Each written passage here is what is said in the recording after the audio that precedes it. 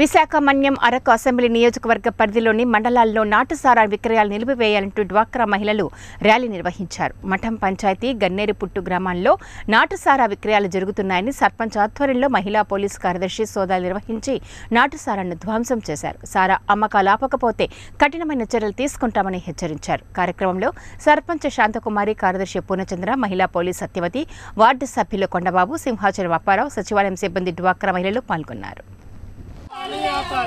నాటుసారా అమ్మకం నాటుసారా అమ్మకం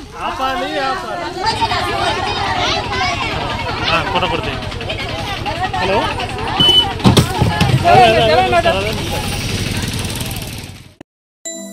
ఈ వీడియో మీకు నచ్చినట్లయితే మా ఛానల్ని సబ్స్క్రైబ్ చేయండి లైక్ ఇవ్వండి మీకు నచ్చిన వారికి షేర్ చేయండి.